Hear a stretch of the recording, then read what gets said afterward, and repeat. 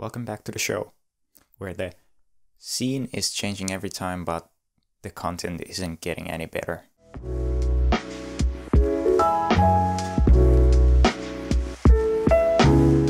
We're gonna be talking about a specific film stock today, and this is actually a film stock that isn't so well known. So the film in question is the Santa RAE 1000, which is a 1000 ISO black and white negative film. It's a new film stock coming from Finland, which is where I'm from, so that's why I'm probably interested in it, and it's available in 35mm 120 medium format and now recently in bulk 35 also. The origin of this film isn't really known that well, but people think it might be originated in some kind of surveillance. It's also distributed by Kamerastore, which is where I also got my rolls from. And why I find this film interesting, it's because it's a 1000 ISO black and white film. We really don't have that many high ISO black and white films, like you have Ilford's Delta 3200 and then you have T-Max 3200. Those films are really grainy and not really fan favorites, or then you can just like push HP5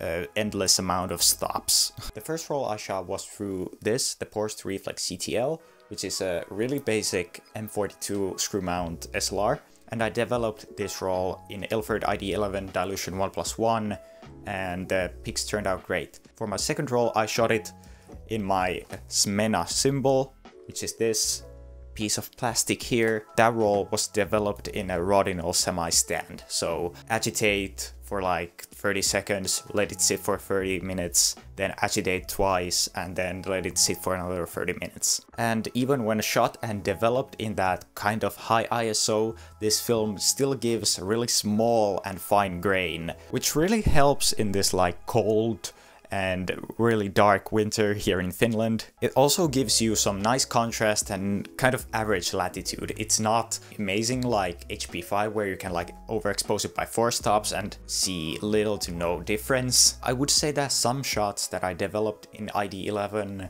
turned out with a bit of lacking contrast for my taste. It was pretty flat and I had to add a lot of contrast in post, whereas the shots I developed in Rodinal were, as expected, much more contrasty, which I liked. It also gives pretty sharp pictures without any really apparent downsides. And sometimes when you look at the pictures, I don't think you immediately notice that it's a high ISO film. However, there is one huge downside to this film, and that's how thin it is. Well, let me tell you, the experience of trying to put this film onto the spiral is one of the most nerve-wracking experiences I've had in my short life. The film is paper thin.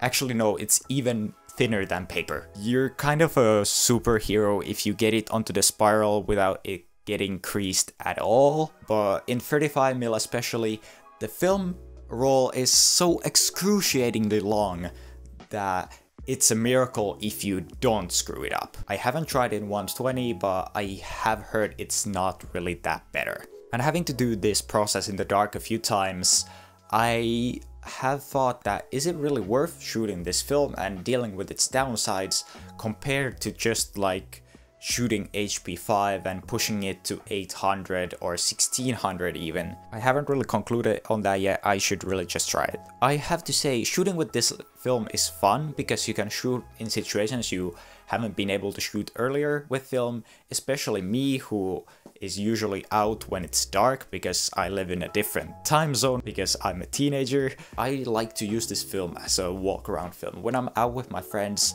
and need to quickly capture something, I'd like to use this film because it's relatively high ISO, but the film canisters, well, are hand rolled, so they don't have DX coating on them, which means I can't use like my automatic point and shoot cameras, which I would normally like to use when I go out and want to take pictures quickly. But anyways, if you're a wizard in the dark, or otherwise like challenges with your film, it's great if you require a bit more speed from your film, and it just looks great in my opinion. I'll put links below to Kamerastore where you can buy this film, and comment down below if there's any other film stocks you would like to see me try in the future. Thank you for watching, and I'll see you next time.